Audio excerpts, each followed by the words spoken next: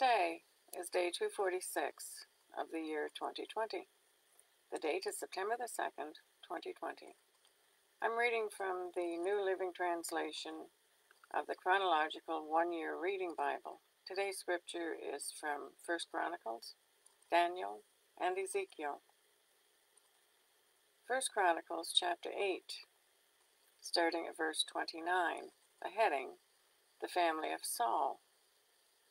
Jeiel, the father of Gibeon, lived in the town of Gibeon. His wife's name was Maacah, and his oldest son was named Abdon. Jeiel's other sons were Zur, Kish, Baal, Ner, Nadab, Gedor, Ahio, Zechariah, and Mikloth, who was the father of Shimeon. And all these families lived near each other in Jerusalem. Ner was the father of Kish. Kish was the father of Saul.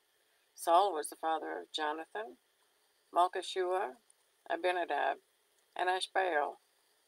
Jonathan was the father of Meribbaal. Meribbaal was the father of Micah. Micah was the father of Pithon, Melech, Tahrea, and Ahaz. Ahaz was the father of Jadah.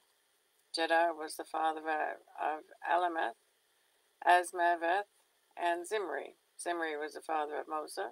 Moza was the father of Benaiah. Benaiah was the father of Rephaiah. Rephaiah. Rephaiah was the father of Elisa. Elisa was the father of Azel. Azel had six sons Azikam, Bokeru, Ishmael, Sheariah, Obadiah, and Hanan. These were the sons of Azel. Azel's brother, Ishak, had three sons. The first was Ulam, the second was Jeush, and the third was Eliphelet. Ulam's sons were almighty warriors and expert archers. They had many sons and grandsons, a hundred and fifty in all. All these were descendants of Benjamin. So all Israel was listed in the genealogical records in the book of the kings of Israel. Heading The Returning Exiles. The people of Judah were exiled to Babylon because of their, their unfaithfulness to the Lord. Daniel chapter 4, starting at verse 1. The heading Nebuchadnezzar's dream about a tree. King Nebuchadnezzar sent this message to the people of every race and nation and language throughout the world Peace and prosperity to you. I want you all to know about the miraculous signs and wonders of the Most High God has performed for me. How great are his signs! How powerful his wonders! His kingdom will last forever, his rule through all generations. I, Nebuchadnezzar, was living in my palace in comfort and prosperity. But one night I had a dream that frightened me. I saw visions that terrified me as I lay in my bed. So I issued an order calling in all the wise men of Babylon, so they could tell me what my dream meant. When all the magicians, enchanters, astrologers, and fortune tellers came in, I told them the dream, but they could not tell me what it meant. At last, Daniel came in before me and told me the dream. He was named Belshazzar, after my God, and the spirit of the holy gods is in him. I said to him, Belshazzar, chief of the magicians, I know that the spirit of the holy gods is in you, and that no mystery is too great for you to solve. Now tell me what my dream means. While I was lying in my bed, this is what I dreamed. I saw a large tree in the middle of the earth. The tree grew very tall and strong, reaching high into the heavens for all the world to see. It had fresh green leaves, and it was loaded with fruit for all to eat. Wild animals lived in its shade, and birds nested in its branches. All the world was fed from this tree. Then, as I lay there dreaming, I saw a messenger, a holy one, coming down from heaven. The messenger shouted, Cut down the tree and lop off its branches. Shake off its leaves and scatter its fruit. Chase the wild animals from its shade and the birds from its branches. But leave the stump and the roots in the ground. Excuse me. Bound with a band of iron and bronze and surrounded by tender grass. Now let him be drenched with the dew of heaven, and let him live with the wild animals among the plants of the field. For seven periods of time, let him have the mind of a wild animal instead of the mind of a human. For this has been decreed by the messengers, it is commanded by the holy ones, so that everyone may know that the Most High rules over the kingdoms of the world. He gives them to anyone who chooses, even to the lowliest of people. Belshazzar, that was the dream that I, King Nebuchadnezzar, had. Now tell me what it means, for none of the wise men of my kingdom can do so. But you can tell me because the spirit of the holy gods is in you. Heading. Daniel explains the dream. Upon hearing this, Daniel, also known as Belshazzar, was overcome for a time, frightened by the meaning of the dream. Then the king said to him, Belshazzar, don't be alarmed by the dream and what it means. Belshazzar ex- explained, or replied, I wish the events foreshadowed in this dream would happen to your enemies, my lord, and not to you. The tree you saw was growing very tall and strong, reaching high into the heavens for all the world to see. It had fresh green leaves and was loaded with fruit for all to eat. Wild animals lived in its shade, and birds nested on its branches. That tree, your majesty, is you. For you have grown strong and great. Your greatness reaches up to the heaven, and you rule to the ends of the earth. Then you saw a messenger, a holy one, coming down from heaven, and saying, Cut down the tree and destroy it, but leave the stump and the roots in the ground, bound with a band of iron and bronze, and surrounded by tender grass. Let him be drenched with the dew of heaven. Let him live with the animals of the field for seven periods of time. This is what the dream means, Your Majesty. What the Most High has declared will happen to my lord the king. You will be driven from human society. You will live in the fields with the wild animals.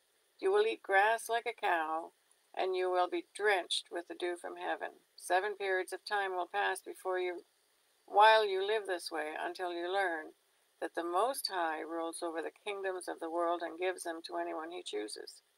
But the stump and root of the tree were left in the ground. This means that you will receive your kingdom back again when you have learned that heaven rules. King Nebuchadnezzar, please accept my advice. Stop sinning and do what is right. Break from your wicked past and be merciful to the poor. Perhaps then you will continue to prosper. Heading The Dream's Fulfillment. But all these things did happen to King Nebuchadnezzar. Twelve months later, he was taking a walk on the flat roof of the royal palace in Babylon. As he looked out across the city, he said, Look at this great city of Babylon. By my own mighty power, I have built this beautiful city as my royal residence to display my majestic splendor. While these words were still in his mouth, a voice called down from heaven, O King Nebuchadnezzar, this message is for you. You are no longer ruler of this kingdom. You will be driven from human society. You will live in the fields with the wild animals. You will eat grass like a cow. Seven periods of time will pass while you live this way, until you learn that the Most High rules over the kingdoms of the world and gives them to anyone he chooses.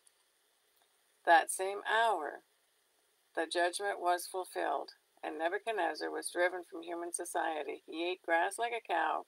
He was drenched with the dew of heaven. He lived this way until his hair was as long as eagle's feathers, and his nails were like birds' claws. Nebuchadnezzar, heading Nebuchadnezzar praises God. After this time had passed, I, Nebuchadnezzar, looked up to heaven. My sanity returned. And I praised and worshipped the Most High and honored the one who lives forever. His rule is everlasting, his kingdom is eternal. All the people of the earth are nothing compared to him. He does as he pleases among the angels of heaven and among the people of the earth. No one can stop him or say to him, What do you mean by doing these things? When my sanity returned to me, so did my honor and glory and kingdom. My advisers and nobles sought me out, and I was restored as head of my kingdom, and even greater honor, with even greater honor than before. Now, I, Nebuchadnezzar, praise and glorify and honor the King of heaven. All his acts are just and true. He is able to humble the proud. Ezekiel chapter 40, verses 1 to 37. Heading The New Temple Area. On April 28, during the 25th year of our captivity, 14 years after the fall of Jerusalem, the Lord took hold of me. In a vision from God, he took me to the land of Israel and set me down on a very high mountain. From there I could see toward the south what appeared to be a city. As he brought me nearer, I saw a man whose face shone like bronze standing beside the gateway entrance. He was holding in his hand a linen measuring cord and a measuring rod. He said to me, Son of man, watch and listen. Pay close attention to everything I show you. You have been brought here so I can show you many things. Then you will return to the people of Israel and tell them everything you have seen. Heading The East Gateway. I could see a wall completely surrounding the temple area. The man took a measuring rod that was ten and a half feet long and measured the wall, and the wall was ten and a half feet thick and ten and a half feet high. Then he went over to the eastern gateway. He climbed the steps and measured the threshold of the gateway. It was ten and a half feet front to back. There were guard alcoves on each side, built into the gateway passage. Each of these alcoves was ten and a half feet square, with a distance between them of eight and three quarter feet along the passage wall. The gateway's inner threshold, which led to the entry room at the inner end of the gateway passage, was ten and a half feet front to back. He also measured the entry room of the gateway. It was fourteen feet across, and supporting columns three and a half feet thick. This entry room was at the inner end of the gateway structure, facing toward the temple. There were three guard alcoves on each side of the gateway passage. Each had, the same measurements, and the dividing walls separated them, or separating them, were also identical.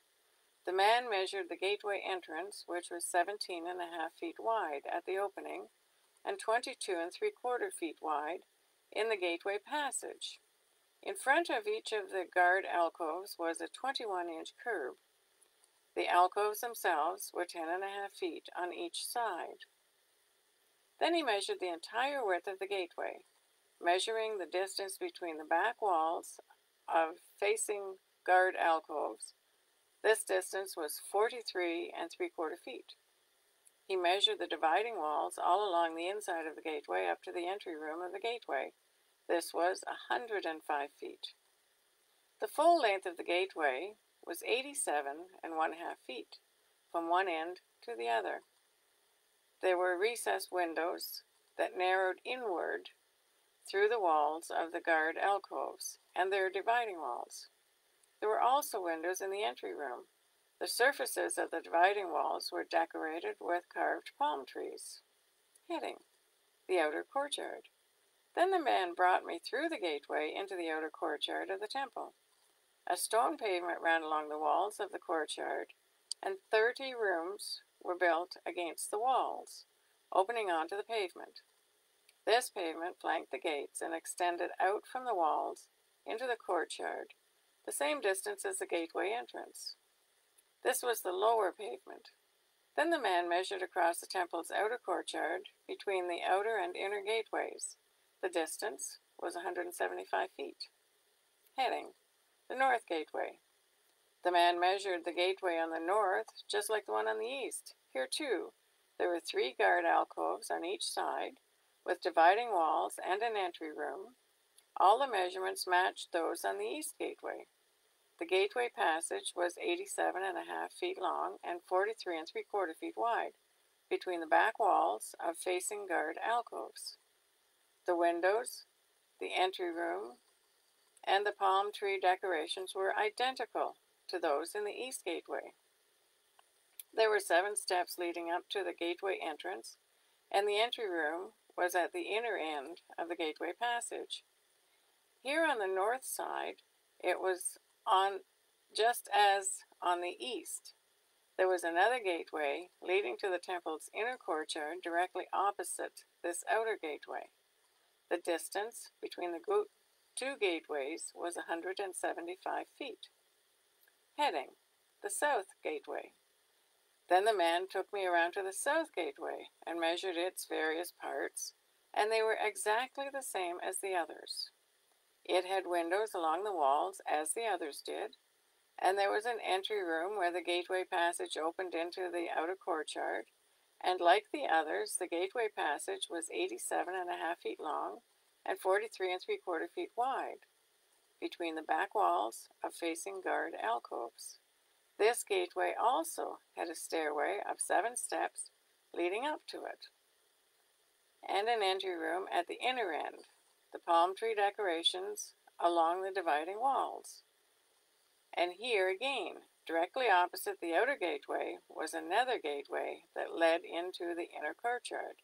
The distance between the two gateways was a 175 feet. Heading Gateways to the inner courtyard. Then the man took me to the south gateway, leading into the inner courtyard. He measured it, and it had the same measurements as the other gateways. Its guard alcoves, dividing walls, and entry room were the same size as those in the others. It also had windows along its walls and in the entry room. And like the others, the gateway passage was eighty-seven and a half feet long and 43 and three quarter feet wide. The entry rooms of the gateways leading into the inner courtyard were 14 feet across and 43 and three quarter feet wide. The entry room to the south gateway faced into the outer courtyard. It had palm tree decorations on its columns, and there were eight steps leading to its entrance. Then he took me to the east gateway leading to the inner courtyard. He measured it, and it had the same measurements as the other gateways. Its guard alcoves, dividing walls, and entry rooms were the same size as those of the others, and there were windows along the walls in the entry room. The gateway passage measured eighty-seven and a half feet long and 43 and three quarter feet wide. Its entry room faced into the outer courtyard. It had palm tree decorations on its columns, and there were eight steps leading to its entrance. Then he took me around to the north gateway leading to the inner courtyard. He measured it, and it had the same measurements as the other gateways. The guard alcoves, dividing walls, and entry room of this gateway had the same measurements as in the others, and the same window arrangements. The gateway passage measured 87 and a half feet long and 43 and three quarter feet wide. Its entry room faced into the outer courtyard, and it had palm tree decorations on the columns, and there were eight steps leading to its entrance. That is the reading for day 246. God bless each and every one of you, and may God be with you until we meet again.